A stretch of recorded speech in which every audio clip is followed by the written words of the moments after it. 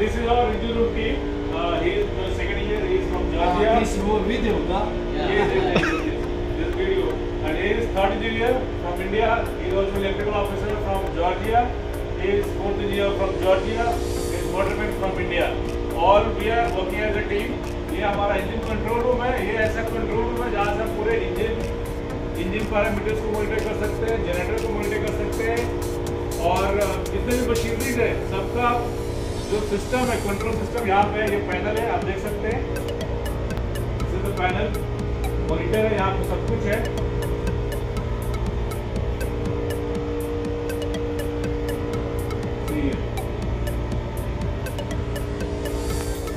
ये control monitors है, ठीक है?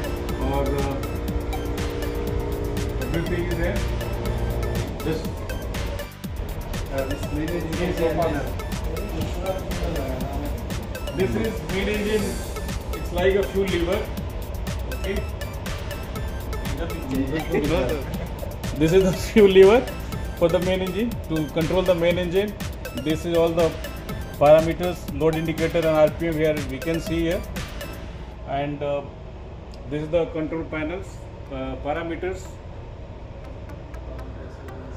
all pressure gauges for the main engine. This is the rudder angle through which when ship direction changes, this also changes. You can see this is a control room.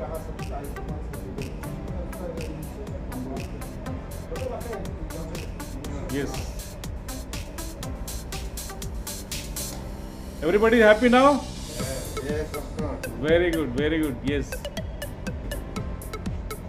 So he is the cadet, fifth engineer on board. Yes.